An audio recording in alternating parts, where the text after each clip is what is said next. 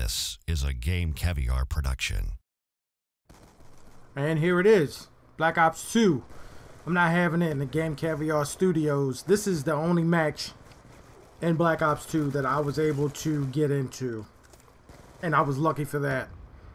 I tried for at least 30 to 35 minutes to get another match. Somehow the matchmaking, uh, or the, I don't even know what this matchmaking or what, but the uh, team balancing mechanism seems to be a little bit off. Everybody just got the game, of course. So, the majority of people that I've encountered online are underneath uh, level 10 and below. What happens is the room will get full of people normally uh, in the same level, 10 or below, normally between 1 and 5. I'm a level 4 right now. And the game will just sit there and it will give you the uh, need more players to balance teams. I was lucky enough to get into this match and I played the whole match. Some of the things that I've noticed in this game, immediately starting this game. Actually, you know what? I got into two matches, but the other one, I got uh, I had to quit because I got an invite. But anyway, some of the things that I noticed about this game. It seemed like it's really in slow motion to me and that could be because I was playing Halo 4 so much the past couple days that this since it's such a different pace of game, then it might just be that uh, I'm just not used to it. Another thing, this game doesn't seem as crisp as I thought it would. The the graphics seem to be cut down a little. That's not a bad thing per se, but it's definitely not something that I had expected to see in a game. Maybe I need to tweak some settings, go in and, and bump up the sharpness if they let you do that. I don't think it's my TV because I haven't touched my my television settings and every other game looks exactly the same to me. It could just be this game. The graphics don't look bad. They just look uh what is it? They they kind of not blurry, but they're not as crisp as a, as I expected them to be. Maybe I had my expectations too high. Some of the good things that I noticed about this game, the hit detection seems to be on. It doesn't. It Black Ops had a problem with hit detection. So far in this game, I have not had that issue with hit detection. There was one gun-on-gun -gun battle that I had with a guy in this match that I died, and I thought that he should have died. I thought that maybe I was gonna come out of that match uh, or that that uh, one-on-one battle the victor, but I didn't. That's not. I don't know whether that was because maybe his gun had a faster fire rate than mine.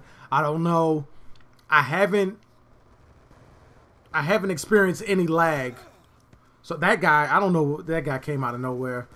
Uh, that was the only instance of that happening. I, I have not had any major issues in the one and a quarter matches that I've played in this game.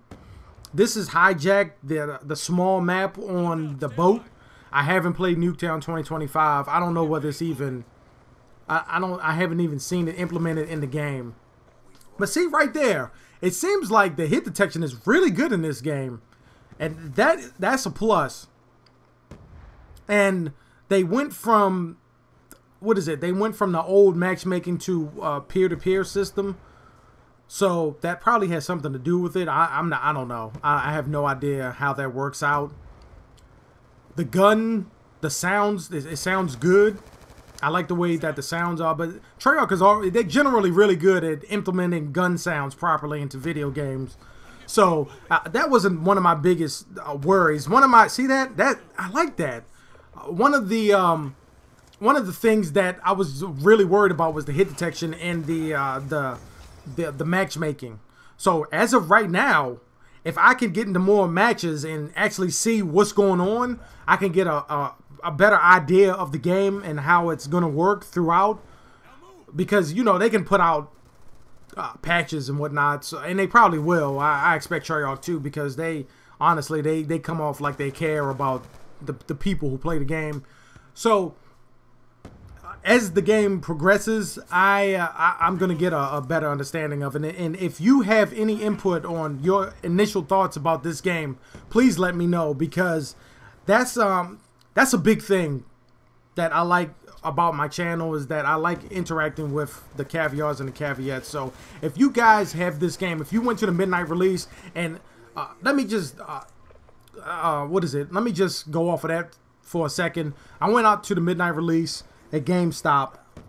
And this is probably the last time I'm, I'm going to do a midnight release at GameStop. I love the employees that are up there. They're cool as hell. I'm not going to stop shopping there, but I live literally two minutes away from a Walmart that stays open 24 hours. I don't need to go to GameStop midnight release for video games. One of the things that GameStop had over Walmart is the fact that GameStop did the midnight release and they had the games uh, that you could pre-order and you got cool stuff for them. But now Walmart has started doing pre-orders. I, I don't know whether this is nationwide, but I know definitely here where I'm at, they have started doing pre-orders. So that that's where I'm going to be at from now on. It's no line. You just go up there, get your game, and you go home. But this GameStop had about 50 or 60 people outside. They had to break us up into groups and I almost didn't get the game because I had forgot my receipt. So I was lucky enough that the guy recognized me and he was like, "Yeah, I, I rung him out earlier, and it's in the computer too." So here we are. Let me know uh, what you think about this game if you have it, and we'll discuss it. I'm not having it in the Game Caviar Studios, and I'm out. This has been a Game Caviar production. Like this video and subscribe for more.